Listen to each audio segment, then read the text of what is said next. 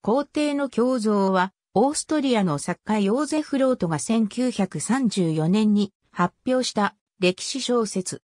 民族自決に基づく神聖のポーランド国家の中で、かつてのハプスブルク帝国の多民族国家の理念に準じようとするポーランドの一貴族を描く。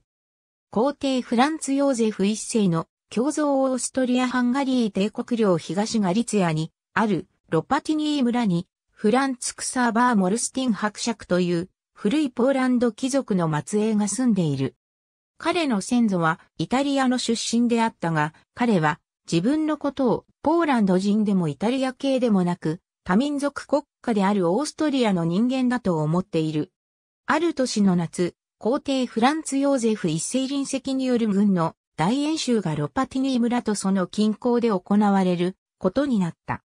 皇帝が去って数日後、近くに住む彫刻家志望の農夫の息子が、砂岩を刻んで作ったフランツ・ヨーゼフ一世の胸像を持って、モルスティン伯爵の屋敷を訪ねてくる。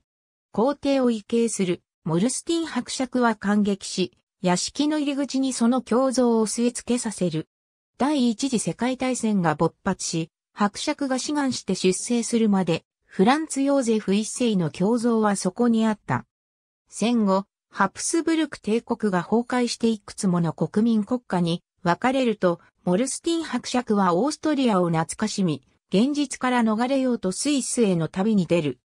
昇進を深くしてロッパティニー村に戻ったモルスティン伯爵は屋敷の地下倉庫にしまい込んだフランツ・ヨーゼフ一世の胸像のことを思い出し、失われた祖国のかけらを求めて、再び屋敷の入り口に据え付けさせる。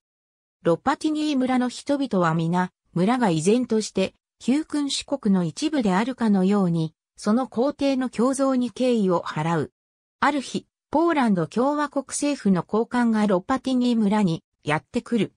立ち寄り先であるモルスティン伯爵家の前にある皇帝の胸像を見て、彼は驚いた。視察旅行を終えた高官は、直ちにモルスティン伯爵家の前の胸像を取り去るようにとの指令を出した。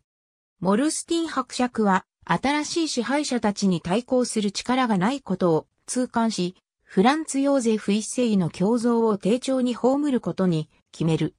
華麗な棺に収めた胸像を村の人々はすすり泣きながら墓地に葬る。その後、モルスティン伯爵は村を去る。モルスティン伯爵は死んだら、ロパティニー村に埋葬されることを望んでいるが、その遺言書にはこう書かれている。AB 平田2007、P512AB 池内1989、P120AB 池内1989、P133AB 池内1989、P157 池内1989、P163。ありがとうございます。